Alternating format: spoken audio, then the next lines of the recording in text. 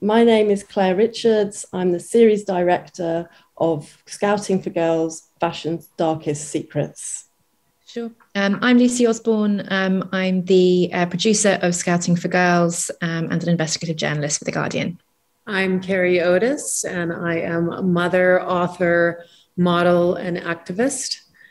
And so grateful to be partaking in this docu-series.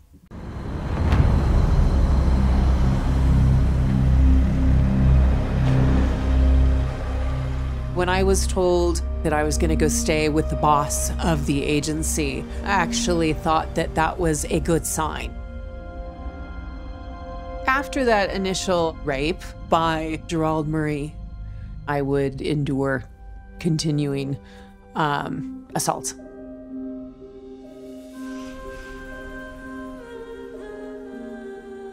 The dissociation that took place there was a separation from myself just to survive. And when I continued to work after that, I mean, you know the face. I knew the face that was expected of me. This is Factual America. We're brought to you by Alamo Pictures, an Austin and London based production company making documentaries about America for international audiences. I'm your host, Matthew Sherwood. Each week I watch a documentary and then talk with the filmmakers and their subjects. This week, it is my pleasure to welcome Clare Richards, Lucy Osborne, and Carré Otis. Their docuseries, Scouting for Girls Fashion's Darkest Secrets, reveals how a group of men behind the world's most successful modeling agencies were involved in a darker side of the industry. It exposes how modeling agents like John Casablancas, Jean Luc Brunel, Claude Haddad, and Gerald Marie, who denies the allegations, created a culture that enabled many of them to indulge in a spectrum of abusive behaviors, ranging from grooming and coercion to the rape of models as young as 15. The film hears from a generation of forgotten women who were promised stardom and glamour, but instead found themselves used, abused, and in some cases, trafficked between networks of powerful men. Building on an ongoing investigation by Lucy for The Guardian, the series delivers the fashion industry its own Me Too reckoning and follows the survivors, including Carré, as they come together to take action against those responsible. I'm here with Clare Richards, series director, Lucy Osborne, senior producer, and Carré Otis, model, author, wellness consultant, and activist, and contributor to the film. The film is Scouting for Girls Fashion's Darkest Secrets. It's coming to Sky Documentaries on June 24th. Uh, Clare, may we start with you? What what is Scouting for Girls all about? Well, Scouting for Girls is a three-part documentary series that looks at the darker side of the fashion industry. It, it spans, you know, three decades. It starts in the 80s and brings brings us right up to present day to look at the way in which agents of very well known agencies were promising um, teenagers, girls, the, the, the, the, sort of the expectation of, of lucrative careers in, in, in fashion, which, which, which did, some, did sometimes happen, but there was also this really dark underbelly that led to um, grooming, coercion, and rape. Um, that that went on and on and on, um, pretty much in plain sight. Okay, and then this is, uh, if if I understand correctly, um, this is uh, much of it's largely based on investigations for the uh, Guardian that you've you've done, Lucy. Is that is that correct? Yeah, so um, it, it sort of started. I, I um, back in 2020, I wrote a series of articles for the Guardian um, on um, sexual abuse in the fashion industry, um, and so it sort of evolved from there. Um, Wonderhood Studios, who produced this, were also sort of looking into a similar area. So Sky sort of paired paired the Guardian mm. from the Guardian up with Wonderhood, and we uh, yeah we made the the series together. Okay, and in those investigations, I mean, and I highly recommend uh, we'll have links uh, in the show notes to the to the Guardian, uh, the the UK uh, based uh, newspaper. But uh, I mean, broadly, what did we, I mean? It was was it like peeling an onion? The more you looked, the more you found, and sort of. I mean, I think Clare's kind of alluded to it, not more than alluded to it, certainly. But what what were you finding as you were investigating? Well, I mean, it sort of started for me about four years ago. I was um, at the BBC making, I made a film on um, on Weinstein and then Trump, and and mm. speaking to obviously a lot of his um, survivors of their of, of, of, their alleged sexual misconduct and um, it just the more the more people I spoke to the more I realized that you know that that not only were was there a problem with uh, models that were being sent to the likes of people like Trump and Weinstein there was also um, uh, p- agents' names kept coming up. So people like mm. Gerald Marie and uh, Jean-Luc Brunel, who um, were allegedly, you know, sending um, models to um, to other to men outside the fashion industry, but who were also um, sexually assaulting and raping models themselves as well. Um, so it sort of mm. just sort of kept growing really from there. Um, and then in 2020, I started working with The Guardian and um, wrote the series of articles. Um, and, and once I sort of started doing that, it really just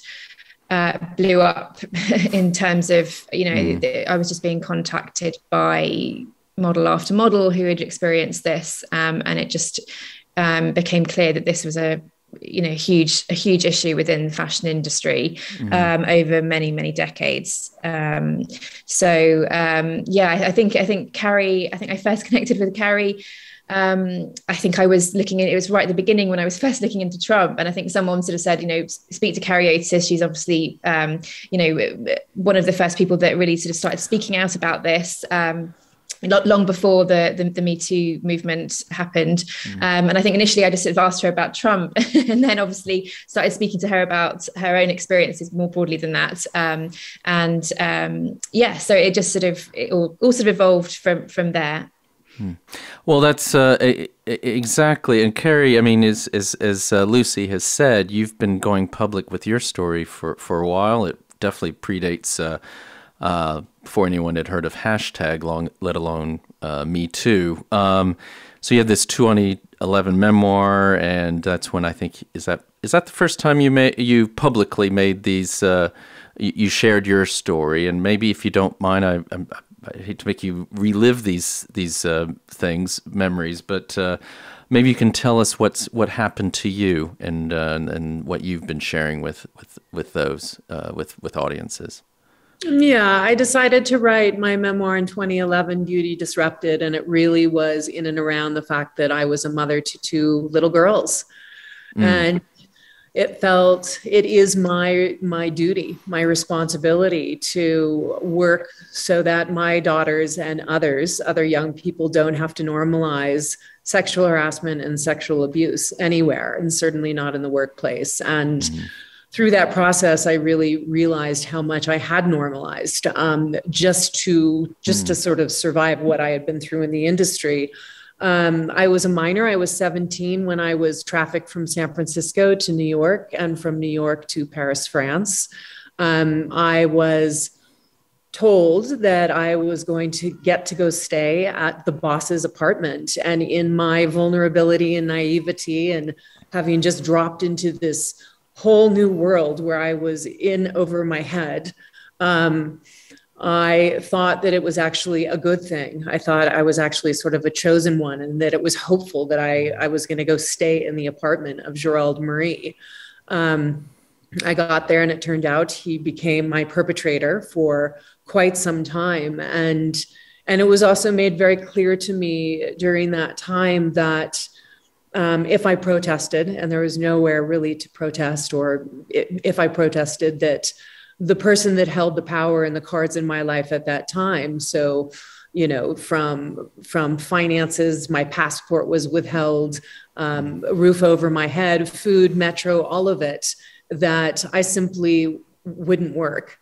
So that was made very clear to me. Um, and it was really the beginning of tremendous dissociation and traumatization and compartmentalization that, you know, I, um, um, that, that I sort of created just as a survival for, for my experiences of that time. Hmm. And, um, I mean, I mean, this is, you know, this is what's happened must have, uh, it's had an incredible effect on your life, hasn't it? I mean, is it? Uh, I mean, I mean, you've you've gotten through it, uh, uh, but maybe you can tell us more about how. I mean, like you said, maybe you didn't even realize at the time what. Uh, I think that what happens in the in the doc, a lot of the people we you, that interviewed don't even realize until later what they've actually been through. You know, the the women in the in the that are interviewed, the subjects, and uh, maybe you can maybe give us a little more insights into into that. Yeah, I, you know, like so many trauma survivors. Um, that's what we do is dissociate just to be able to survive and, and function. And i had a interviewer recently say you were you were so strong you were so courageous. And i'm like no i was none of those things mm. actually. I couldn't even speak of what was happening in my life. There was so much shame and fear around what was transpiring and it has certainly taken me many many years to heal from those traumas um, working with you know i'm i'm privileged and i have hmm. resources and unlike so many you know there's so many women and men who don't have the resources that i've had access to so i'm incredibly grateful that i've been able to embark on a healing journey and that healing journey hmm. continues and it definitely yeah has been part of working on this docu series. Like we've been held so incredibly by Sky and Wonderhood and the Guardian you know, with this team of women um, that have helped create the safety net for us to walk through and share our stories and and have it be so um, respected and and taken care of and and the stories told in such um, an honoring tender way and i think many of us mm. survivors have w- gone through periods with the press where you know our stories have tried to be sensationalized and and yeah. pulled apart and it's been a painful process. So this has actually been an incredible reckoning to be able to tell our stories in this way and this platform and be held so well. Okay. I mean i mean to follow up on that i think that's uh, uh, i guess there's two things i think of but lucy i guess what you found is that uh, carré's story unfortunately is not un- that unusual is it sadly no. Um, no. I mean and just to follow up on what what carré was saying i think what what makes this um, docu-series different to other um, documentaries that cover um, allegations.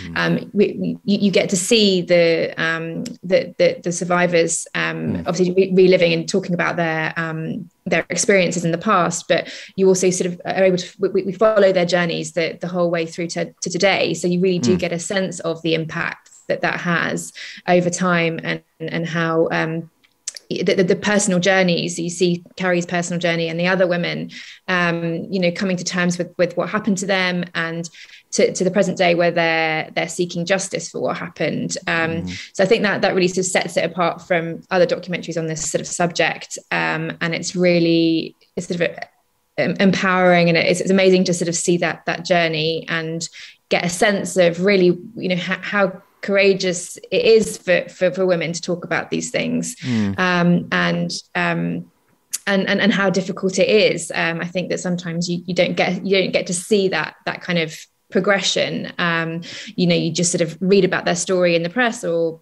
or hear about it, um, but you don't. It's it's difficult to convey maybe that that how hard that is. Um, mm but yeah, I mean, the, the, the series it tells the story of um, of, of, four women, so so Carré and and three others. Um, uh, in, in, a lot of detail. Um, uh, but obviously, their experiences are representative of a much, much bigger problem uh, that was happening to, to so many models at the same time. And I think, you know, uh, the reason I started looking into this um, was because I just I was so taken aback by the scale of it. It was literally every model I spoke to, pretty much every model I spoke to had an, their own experience. Um, but if they mm. didn't, they were connecting me with you know mm. handfuls of other models who had, um, and so it just um, it just felt like this. I was sort of like, what you know, why hasn't this been a huge story before um, and obviously there there were several attempts in the past to, to, you know to, to to to shine a light on this and you know in some cases you know very detailed very good investigations but th- for whatever reason mm. um, things moved on and people forgot about it um, so um, yeah i mean uh, my investigation, my, my, work in the Guardian um, has has covered some of it, but there's there's many many more women who have had similar experiences, and and actually Marianne Shine, who is one of the four women in the series, mm. um, she she came forward to me after one of the Guardian articles, so she actually got in touch, um, and she sort of um, she was sort of as a lot of women have told me they they feel they felt for many years decades sometimes that they were the only ones to experience this because I think the models Carré could probably talk about this um, best than I can but there was a sort of um, models didn't talk to each other about these things. There was a lot of shame as Carré said you know so it's only in recent years for some people reading these accounts from other women mm. that they've realized that this is a much bigger thing that they were a part of and that they weren't alone. Uh, so we we get a sense of that journey from marianne in the film as well yeah i think i have to say too yes lucy completely. And when i wrote my book you know here i was coming out with mm. all of this information and nobody wanted to touch it. I mean i think so much of this is timing. Nobody wanted to have the conversations. And I too felt like I didn't think I was a standalone situation, but I had no idea, you know, fast forward to now, how mm. many women and how prevalent, how pervasive this was within the industry. Hmm. And uh, I actually want to pick up more on that in a, in a minute, but I, I, to pick up also what you said, something you said earlier, Carré, and also you, Lucy. I mean, this about this um, this these forces all coming together with the the Guardian and the survivors and you, Clare, and, and making the uh, the series. I mean, how do you? Um, I, I mean, you, have mentioned how you got involved, but how you know how do you? Uh, I mean, it must be quite challenging, isn't isn't it, to do this?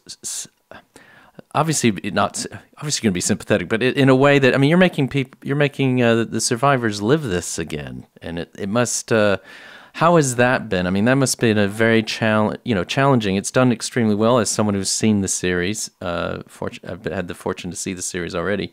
Uh, but how did you how did you manage that? Because that's that's got to be you know very difficult.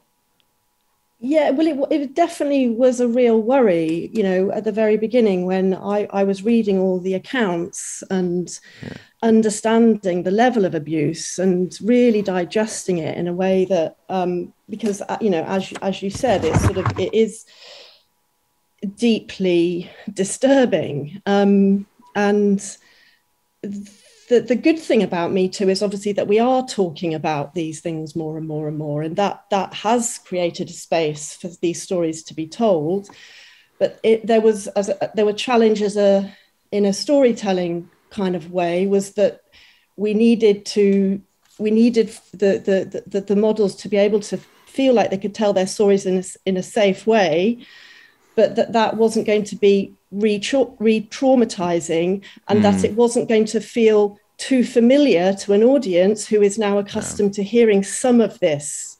Right. Um, so that was um, that that was really challenging. But you know the the the the way that we you know wanted to try and overcome that was to make sure that we understood um, you know, Carré's, we understood who Carré was as a 17 year old. We understood mm. a 15, 16 year old. You know, what was it like to feel the things about the modeling industry that anybody who has the has a dream can relate yeah. to and that if you understood if you understood that then you would be with th- with the stories with the women as they were telling you it and that therefore we were creating a bond with the viewer that would make them want to get to the end if that okay. makes sense well uh, I, I, yes, it does make sense, and I think you've achieved, yeah, more than have, have achieved that. So, uh, uh, so I, I, do appreciate that. I mean, Carré, you were saying, uh, you know, you hadn't realized how how you know there is this feeling that you may be the only one in or one of the few, and then you find it's much more prevalent. I mean, are these issues? I know you, how is how prevalent are these issues still today? Because you know, you know, a lot of this is discussing the 80s and 90s, but as Clare's brought it mentioned, we bring it you bring it forward to present day, and we'll talk more about what's happening present day. But in terms of the industry, is this uh, um, how prevalent as as well as far as you know, how prevalent is this still today? Yeah, so I'm still active in the industry. I am on the board of the Model Alliance, an incredible organization, and we have a support line. And the calls that come into that support line indicate that these issues are still ongoing today.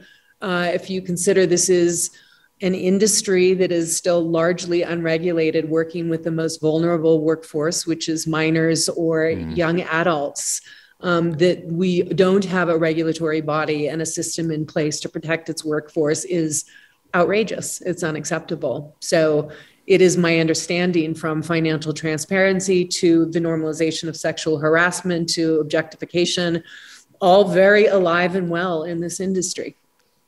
I think that's a, a good point to to um, maybe take a, a break for our, our listeners. Uh, we'll be right back with Clare Richards, Lucy Osborne, and Carré Otis. The film is docuseries actually. It's Scouting for Girls: Fashion's Darkest Secrets, coming to Sky Documentaries on June 24th. You're listening to Factual America. Subscribe to our mailing list or follow us on Facebook, Instagram, or Twitter at Alamo Pictures to keep up to date with new releases or upcoming shows. Check out the show notes to learn more about the program, our guests, and the team behind the production. Now back to Factual America. That's why being here in France and testifying to the French police with these women is so meaningful. Naming him sends a signal to other women who may be suffering that you're not alone and we are here for you. We're doing this in support of other survivors and also an invitation for anyone who is within the statute of limitations. Please join us. We're here for you.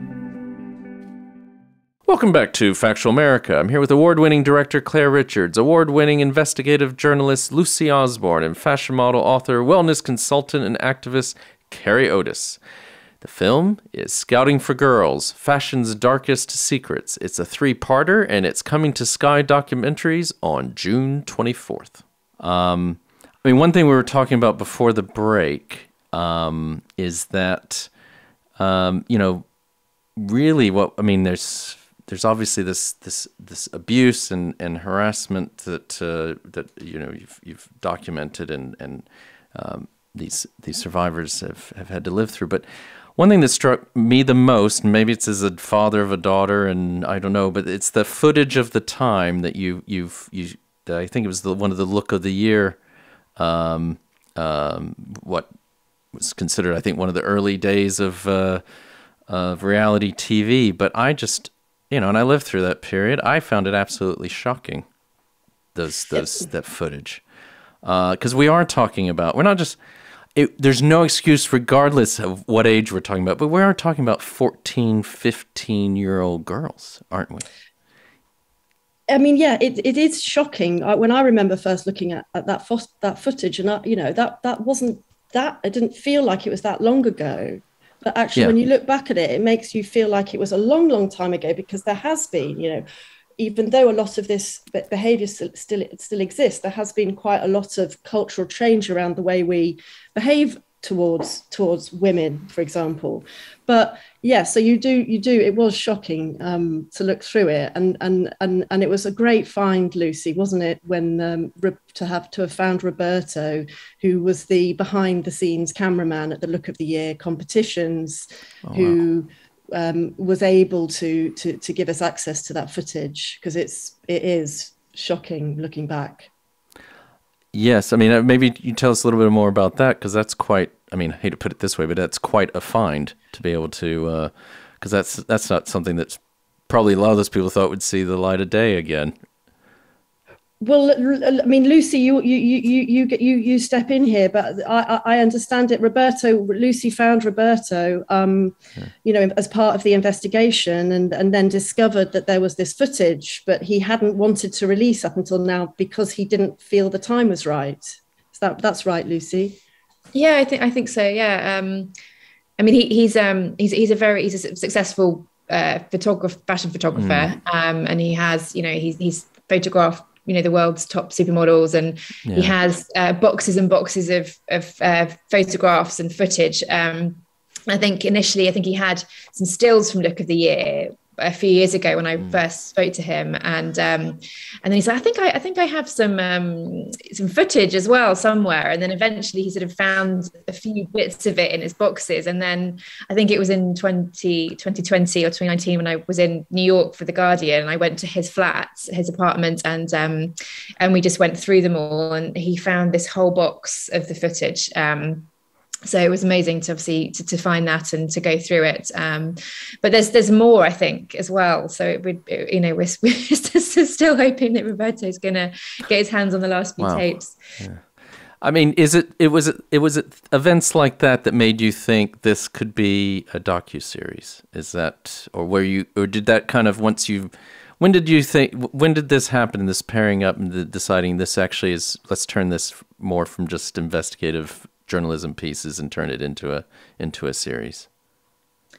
Well, I mean, it was. Um, I think for, for me personally, I, I, I think as soon as I started just having all these, hearing all mm. these experiences from so many models. I mean, you know, literally dozens and dozens. Um, I, I sort of really felt that there was it's, it's, more than you can do even even with the long work camp that I was lucky to have at the Guardian you know there's there's you just can't even touch the surface really um, so I, I really felt that it was something that that needed to be told on mm. screen as well. Um, but um, but it was sort of a, it sort of evolved from there. I mean, it was um, I think the Guardian were keen to do something, um, and and yeah, eventually we were you know we were so we were sort of trying to look into how we could make it whether we you know, this could be a sort of single or a, a series and then um, spoke to sky who were already in touch with wonderhood who had kind of had the same sort of idea that this mm. was some, the story that really still needed to be told um, and hadn't been told properly before. Um, so yeah, it, it was um, it kind of evolved. Yeah, all evolved from from from that. Um, but I mean, it was you know I think um, and Carré can probably talk this a bit better than I can, but I, I think that there's a feeling maybe among there's certainly a decent people sort of desensitized to me to, to me too uh, issues. Um, uh, and also I think particularly with the modeling industry I think um, people sort of feel like they already know about it or um, are maybe less sympathetic unfortunately towards models. Um, and I think that so it, you know it, it wasn't necessarily a, a, some an idea that instantly got picked up you know it, it was um so, so you know it's obviously great that, that sky realized that this is an important issue and and wanted to do something mm. um but it wasn't it wasn't um something that just suddenly happened uh, straight after the articles yeah. and do you think is that fair carré what lucy's just said yeah absolutely and and part of the conversation is there's sort of a stigma or perspective of the modeling industry that it's incredibly glamorous and that we're incredibly privileged and that mm. you know models are are beautiful people that have you know they get paid a ton of money and and for some reason that creates a discrimination against us that we shouldn't have the same rights and protections as other workers in other industries yeah. um, and i agree the desensitization within this industry and within our cultures but also the normalization of these behaviors within the industry you know, um, are very real and even applauded, as you can see in some of that mm. footage. You know, you see these powerful men together that are yeah. acting unbelievably despicable and they're just cheering each other on. And that was also that generation. And I think part of the conversation that's happening now is, you know there are w- women that are coming together in this mm. wave and and it is about timing and in this explosion yeah. of like okay, you may have grown up that way, but I am no longer going to stand by complicit or enable toxic mm. masculinity to be prevalent and running running the world. Um, yes. So I think that that's part of sort of this movement of what's happening is enough is enough. Yeah, well, it will indeed. I mean, um, I mean, I guess one thing I want to get back to is actually uh, Lucy. You're saying because I, I want to hold that thought as well about the timing and and what's happening now because I think that's as, as as important as everything that's been documented in the in the in the in the series. But I mean, you you did allude to this. Uh, there was a 60 Minutes piece by Diane Sawyer in the 80s. There's a BBC piece in '99, I believe.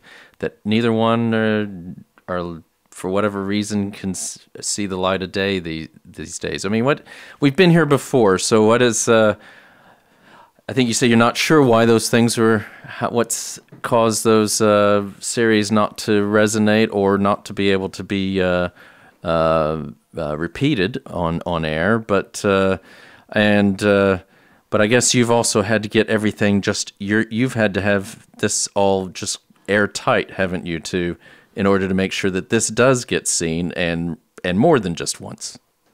Is mm. that fair enough, Lucy? Yeah, yeah. I mean, definitely um, with, with with the the, the Gerald Marie article that I did, yeah. um, I think there were eight eight women um, that that spoke to me for that. Obviously, Carré had already told her story in her um, her book, um, and a couple of the other women in there had also um, at least tried to tell their story publicly. Um, and um, but we needed, you know, the, the Guardian. We, we, we, wanted to have as many women's voices as possible to show that there was a you know a pattern of behavior um, that these these women didn't know each other didn't know of each other's mm. stories and yet we're all telling the same story um, and so for, for, that it was very much you know we wanted to make sure that we had um, you know that it was watertight and that we had as much evidence as possible so i spoke to people you know whistleblowers and, and people within the mm. industry as well who kind of backed up the the models uh, testimonies too um, and then built a, a, a, quite a long it was quite a long article in the guardian that sort of built the case really um, but that's not to say that that the other that the allegations that had come out previously were were not um, you know e- extensive you know that they they they they were but I suppose it's a sign of the, the times as well that there's that mm. people now are more willing to listen to these things. Um, but I mean, it was amazing. I mean, the, the 1988 documentary on CBS with Diane Sawyer that you mentioned. Um, I mean, I think that that was seen by 8 million people in America. Um, and it was largely about uh, Jean Luc Brunel, who's one of the men who yeah. We tell the story of in the, in the series. Um, and, and he went on to, he was mainly based in Paris at the time, but he went on to establish an, an agency in America after that. So after it had been seen by I think eight million people in America. Yeah, yeah. Um, he was still able to go on. So I think it just shows that. And and I actually spoke to the producer of that that film, and um, he he still today, you know, he's gone on to he's a Pulitzer winning journalist, and he's gone on to report on many things. But he said it's it's still uh, you know is a real um, sort of he's still really angry about about wow. about that you know that, that, he was he uncovered all this evidence and he did it you know particularly in sort of pre me too era, era, he did amazingly to find all that evidence hmm. against mm. Brunel and to actually persuade women to go on camera at the time these are models yeah. who were modeling at the time yeah. you know pre me too who were going on camera to talk about this but for some reason for some reason it didn't resonate and um, people within the industry saw it made excuses and, and carried on i mean these these men were very very powerful at the time and people just didn't people within the industry just didn't want to mm. just wanted it was easier just to let things carry on as they were mm. um and and Clare, so as we were saying earlier, then now we've what the, what's powerful about this docu series on well one one of the many things that's powerful is that, like you said, in episode three particularly, you bring this right up to date and right to now and follow this uh, follow the uh, the, the, the the characters, the the survivors, and their and where they're taking this. So, um, I mean, that was all. This is all. It's still live. If our listeners are wondering, we we do have to be. This is an ongoing. Uh, legal case. Uh, we um, there's an investigation going on in France, and we have to be honor that, and so we have to, you know, um, well, not that we're uh, mincing words or anything, but we do have to be, uh, you know, we're we're being careful that we don't do anything to um, to undermine uh, certainly those efforts. But uh, that it, that must have been a ch- challenge for you, Clare, because this is uh, you've got kind of a moving goalpost that you're uh, you're trying to film here. Well, yes, it, it was and, and it wasn't. You know, when to have something moving you know means action and it yeah. means drive it means narrative yeah. it means story and so to be able to get to a point after um, decades of, of abuse where it feels like there's you know people listening and, the, and not and not only people the justice system listening mm-hmm. finally um, was actually a ble- you know a, a, a huge blessing. Um, but that the sort of the difficulty with it was that yeah, the, whilst the judicial system in France had decided that they wanted to hear the testimony of the of the women that we had been filming and and, mm-hmm. and others. It, it, it, it, it hasn't necessarily moved to a um, investigation. There's no charge as right. yet right. because of the statute of limitations. So the importance of that for us is that you know we we would we would hope to that, that there was somebody within the statute of limitations that would come forwards um, uh, you know i you know on the back of the information that they hear about this series or this stories or mm. wherever you find it to be able to f- come forward um, with within a there's a 30 year limit basically on any uh, sexual assault or um, a, a, a accusation of rape. Right. So beyond 30 years, they just they won't hear it. So mm. it, it won't be able to be turned into a, potential conviction. But mm. um, but the fact that the French judiciary were uh, open to hearing the, the, the testimonies, which uh, you know, which you can tell from the series that over and over again you mm. hear the same uh, tactics, you hear the same stories, mm. you hear the same familiar kind of uh, uh, lies essentially being told to young mm. girls that it's difficult to discern because of your age and your inexperience in the world mm. and so we we we yeah we would we would like to think that there would be the, the hope of a, of, of a potential prosecution if somebody within the statute of limitations would, would, would come forward. And so, and so, I gather because I it was one question I was going to ask. I gather no one who meets that has come forward yet. Is that right, uh, Carré? Because Carré, you're the one that you and the th- three others. You're the you were the first ones to bring the uh, case f- forward, uh, didn't you? In twenty was that 2021? Yes, that is that is correct. And even though I had been outspoken and have this all out in my book, when the time came to actually give my legal testimony um, mm. in Paris, France, it was I, I actually thought about it and was like, yeah, why? no way. Like, nothing's happened yeah. up until this point. And do I really want to put myself through that? And similarly to the responsibility I felt in writing my book and addressing these issues, I realized it was about other survivors. It was about other victims and the importance to make that contribution as uncomfortable and exposing as it was, mm. um, the importance of in my legacy being doing the right thing and mm. coming forward not just you know for benefit of myself but for for other survivors and to potentially address the issues in the industry and make the industry a safer place ultimately mm. because you would have known that you were outside of the statute of limitations when you when you came forward but that's but that's the whole point as you've just said is to to make to pave the way that others who maybe well as you say uh, to to to help uh, with the affect change in the industry, but also to make it make it maybe easier for someone who who does uh, you know uh, one of the survivors in one of those um, who had within the last 30 years to come forward and uh, but yeah.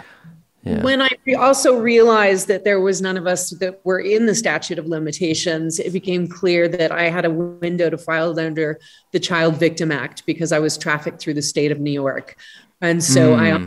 I also moved forward with that on behalf of other survivors because nobody within my group had had the ability to do that. And you know sadly i was in the right place at the right time at the right age when i was trafficked through new york that i actually was able to go ahead and file charges under under that the child victim act. And okay. and it brings the bigger question of statute of limitation reform. And we just had a huge win in the state York with the Adult Survivor Act being passed at this point. So that's that's a huge win, and I hope personally that this gets adopted state by state. Okay, I mean, I was going to ask you about that. I mean, it's um, is this something? Uh, I guess that's something you're working on as well, because um, these. I mean, I think I don't know. It varies by state. I think sometimes these things used to be five, ten years. Now it's been extended to thirty. But do you think there should be any statute of limitations at all? I do not. Yeah. I do not. You know, and what we do know is the trauma and the, you know real lived mm. experience of survivors is that it takes many of us you know to be out of the acute trauma and out of childhood to be able to address you know what's happened to us and that is that's a process that can take yeah. many many years and that's sort of shared experience with survivors yeah. Um, yeah. Yeah, no, I mean, isn't it? Uh, I, I, think uh, who is, is, it? Is it Jill that is one of the uh, someone you interview who says she was well into her fifties before she realized exactly what she had really been through. Is that is, is that right, Clare and, and Lucy? Yeah, Jill did. Jill didn't um, realize until Lucy got in touch with her that um, that there was you know, a, a, a, a much that, that she wasn't alone, that she, you know, mm. that hmm. 10 years earlier, Shauna had been raped by the same alleged man. And yeah. that, that, that, that, that, and then not only that, that, that there was a, she, she understood that there had been a transaction involved in, in, in, in, her in her meeting with another powerful man, but that that that that, that the level of systematic ab- abuse within the modeling industry hadn't really revealed itself to her until you know really until she read Lucy's articles. Hmm. And I mean, on that, I mean, um, um, I mean, and in those cases, uh, in Lucy's, you've pointed out, and, and um, Carré's been talking about her own situation. We are talking about, I mean, it's more than just, you know, it's more than just uh, rape and abuse, but this is this this child this trafficking that's been going on, um, yeah. and that's uh, that's also what is uh, I think. Well, it's it's one of the many shocking things that comes out in this in this in this series. I, I think. Um, I mean, with all that in mind, um, I mean, Carré, you're with, as you mentioned, Model Alliance. Um, what are, so what is, I mean, besides bringing this case and uh, having a, fostering a, at the very least a conversation about all this, um, what are you what are you guys trying to do in terms of the industry? What would you like to see um, um, changed? Is it is it is it about regulation? Is it about uh, what are the things that need to to happen?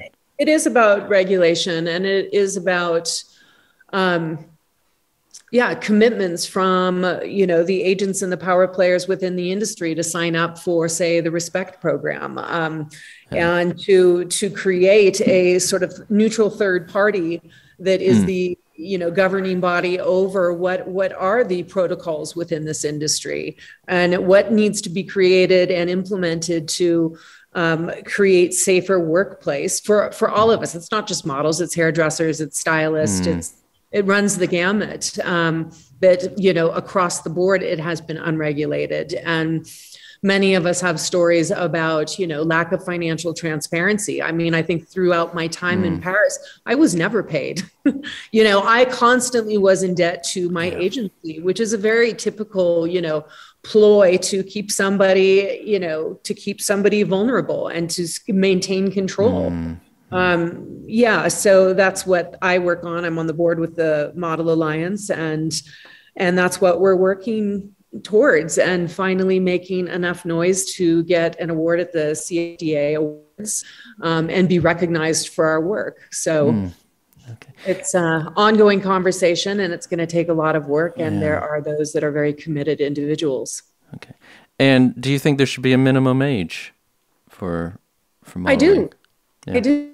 I I absolutely do. This is a very grown up world with very grown up issues, mm-hmm. and any industry um, where one's um, success is based on physicality. I think that's a mm-hmm. dangerous game for young people who are still trying yeah. to figure out who they are and define themselves and lord knows we don't want anyone to define themselves by you know being young being mm. beautiful being perfect these standards that to into this world with all of the technology you know none of the images out there portray real humans. they're all you know they're they're all manipulated in some way by some kind of filter so i know that the youth at this point um, mm. in in our life is tremendously ill affected by what's coming up both on social media and ad campaigns and and what mm. we see as portrayed you know humans but they're you know we're not seeing humanity in in all of its mm. diversity yes indeed um I think we're actually coming to the end of our time together. Um, I, I, really do appreciate uh, you you all coming on. I just want to ask uh, sort of maybe one last question or next to last question, if you will. Um, what do you want this? Uh, I'll start with uh, maybe I'll start with uh, Clare, uh, but we'll go around the around the screen. Uh, what do you want the legacy of this film to be? I, I would I would love it if somebody who was in the statute of limitations came forward after seeing it and then yeah. was able to put their name down in, in, in, in, the in the in the potential case against Gerald Marie. That would be incredible. Okay. Uh, and Lucy? Yeah, I think yeah, likewise as, as Clare said, um, classic. Um, like yeah, I think I think um, also just to see um, just to see off the back of what Carré was saying as well, you know, to see sub- substantial change within the industry today, um, and and and to, to, to, generate more of a discussion around this, and uh, you know, the, the, fashion industry, it's never been sort of overhauled. There's never been a um, it's the same industry that it was then. You know, the, the, the same issues that, that mm. models were facing then still exist today. So to, to be able to kind of create some change around that would be amazing off the back of the series. I mean, what you also, I mean, just to interject there, you, I mean, it's it's like it was like indentured servitude what I was hearing and seeing in that and is in in all the three episodes. But it, I I had no clue. I had no clue how bad it was in terms of. Um, I mean, and as you said, every it wasn't just one person's experience. Everyone had that same experience where they had no money, no way to get home. Um, un, you know 15 16 17 years old and going through this i, I can't I, I can't even imagine. And carré what do you want the legacy to be? Absolutely to provide an opportunity and a safe place for survivors to come forward and certainly mm. survivor within the statute of limitations. Um, that would be incredible and to really address the systemic toxicity that exists within this industry that I think has been in the dark and avoided and dismissed for so long. And, and this film beautifully pulls all the horrible, agonizing pieces together and portrays it finally in a way that's not, you know, ridiculous and people are able to dismiss it. It, it hmm. addresses mm. film addresses it in a very sober accurate way, which is a victory for all of us. Yeah, I, I, I agree. And actually, with that in mind, what all of you are saying, um, if, if uh, well, um, if someone might make these uh, is been affected by this in terms of this statute of limitations, or even if they happen, if someone is, if, if there's a model out there who has been uh, um, you know, uh, is a survivor of, of, of such things. It, it, what's the best thing for them to do? Should they reach out to the Model Alliance? What uh, what would you suggest? Personally, I suggest we have a survivor line at the Model okay. Alliance, support line, a support line at the Model Alliance, okay. um, and that that is a really great place to start and to access resources. And Lucy, I'm sure you can speak to possibly what's been put together with um, Wonderhood, Guardian, and Sky for reporting.